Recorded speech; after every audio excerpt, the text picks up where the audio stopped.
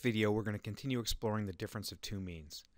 I'm going to show you how to use SDA to generate the information you need to calculate a difference of means test by hand. Then we're going to push on and look at how to use confidence intervals to understand difference of means test.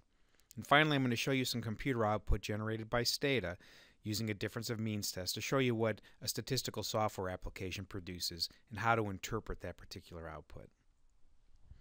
Let's start by looking at an example. On this page, I'm showing you a frequency distribution of a, of a variable called news. And this asks people how frequently do they read a newspaper. The options are every day, a few times a week, once a week, less than once a week, or never. Notice that those are coded from 1 to 5, where 1 means that you read a newspaper every day, and 5 means you never read a newspaper. So we need to be careful in interpreting this statistic, any statistics generated by this, because larger values will mean reading the newspaper less frequently. Over on the right hand side, I've generated using SDA the means, standard deviations, and number of cases for how frequently people read the newspaper by gender. You can see the average for men is 2.08 and the average for women is 2.26. This means that men read the newspaper on average more frequently than women, and we're interested in whether this difference is statistically significant. Let's take a quick break here and let's run over to SDA and I'll show you where I got these numbers. So here we are in SDA at the default page. This is the page I would go to if I wanted to look at the univariate frequency distribution of our variables. But I want to I want to generate the means, standard deviations, and sample sizes of the news variable by gender. So I need to go up here to analysis and do a comparison of means. My dependent variable, when I type in this cell, it's going to bring up my old variables. I've used these before. You'll have to type those in by hand. My row variable is sex. My selection filter, I'm going to do this for 1998. I want to make certain to take no weights. Now down here I want to make certain that I'm getting the right statistics in each cell. I'm not going to take the standard error, but I want to make certain to get the standard deviation and the sample size. I think I've made the correct correct correct selections there. A bar chart seems fine. And I think we're ready to go ahead and run the table. I'm just going to come up here into news and click enter. You can see here that men read the newspaper on average 2.08, women 2.26, and I have my standard deviations and sample size. Here I have my bar chart. You can see the difference between men and women. It doesn't appear to be a very large difference, but we're asking the question, is this difference statistically significant? I'm going to set my null hypothesis to be mu sub 1 minus mu sub 2 is equal to 0. That is, men minus women is equal to 0. They have the same average. My alternative hypothesis is that mu sub 1 minus mu sub 0 is not equal to 0. So you can tell that I'm using a two-tailed test. I have a large sample size, 811 men, 1,059 women, and therefore I know I can use with alpha 0.05 a t-statistic of 1.96 as my critical value. If I had a small sample size, I would definitely need to go to the table in the back of the book or some other t table to look up the appropriate t value, and it would be larger than 1.96. Again, with these six numbers, it's pretty easy to calculate the difference of means test by hand. We know that the difference of means test is simply uh, the difference of the two means divided by the pooled standard error, and the formula for the pooled standard error is given in the uh, top of this slide.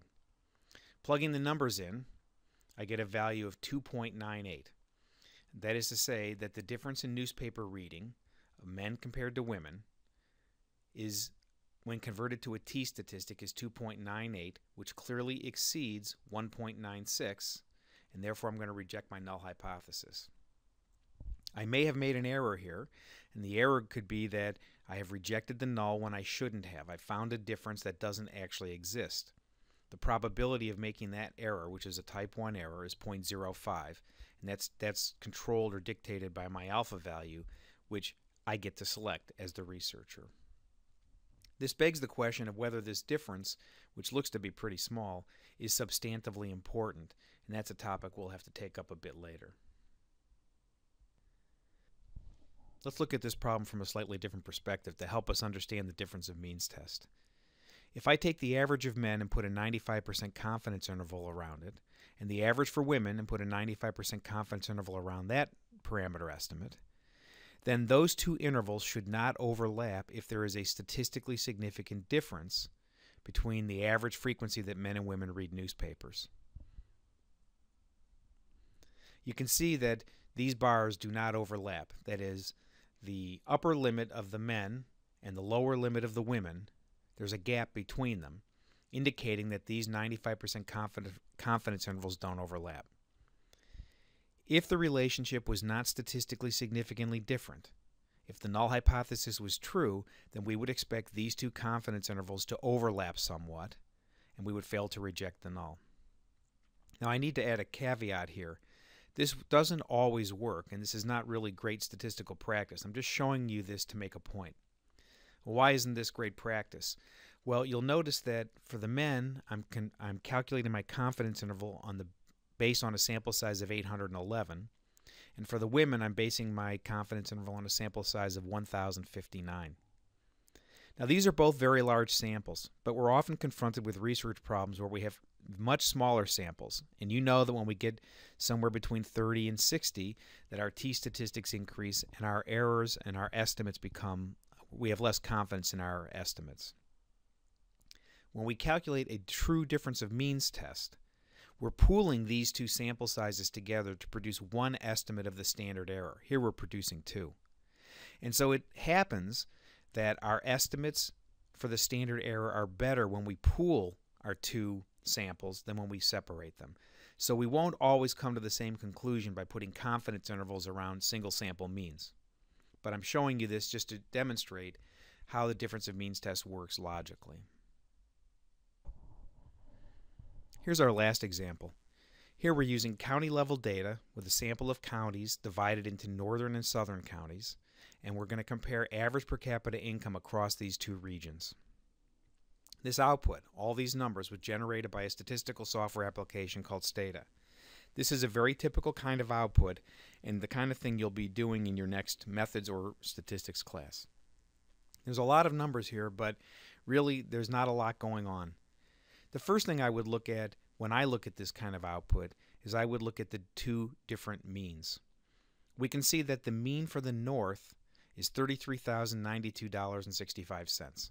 Again, I'm going to start rounding these numbers because the notion of having um, county level per capita income accurate to the penny is really not correct. Uh, we know that these are estimates at best. In the south, the average income is $25,541.52. I would then look at the difference between these two regions of the country. Looking down that column labeled mean, the last number is 7,551, and that indicates the difference between the average per capita income in the North and the South. And our statistical question is, is that difference statistically significant? The next piece of information I would look at is the t statistic. It's calculated for us. We don't need the formula. We understand that the for that formula is being used to calculate this t statistic, but the computer does the work for us. And here we get a t statistic of 15.8, 15.9. That's a very large t statistic under just about any circumstance, and particularly with a large sample size, where my combined sample size is over 1500. I know that if I have alpha 0.05, that I need to exceed 1.96 or minus 1.96, and obviously 15.9 satisfies that. So I would reject the null hypothesis here. The other numbers in the table might be useful to you, and we can go back and look at them now. For example, looking at the north, we see that there's 217 observations, 217 counties. We get the average, which is about $33,092 we get the standard error. This is the same standard error that we learned how to calculate earlier for single sample means. We're given the standard deviation of the per capita income, and we get a 95% confidence interval. We get the same information for the South, the same information for the North and South combined, that is ignoring our independent variable. And finally, we get the same statistics for the difference we get another piece of information that involves a new concept at the bottom of this table. you'll notice that there is a null hypothesis given, Stata new enough to put together a null hypothesis, which is that DIFF equals 0, where DIFF is equal to the mean of the north, north minus the mean of the south. Our null hypothesis, then, is that the difference between the north and south equals 0. Below that, I'm given three alternative hypotheses. HA, so that's another way of saying alternative hypothesis, is that the difference is less than 0. HA, that the difference is greater than 0. And finally, the one in the middle, HA, that the difference is not equal to 0. And you have to know a little bit about Stata to know that exclamation mark equals means not equals. That is, the exclamation mark in Stata is not. Underneath that, we get three values. These are called the p-values. This is a difficult concept to get at first, but it turns out to be very useful.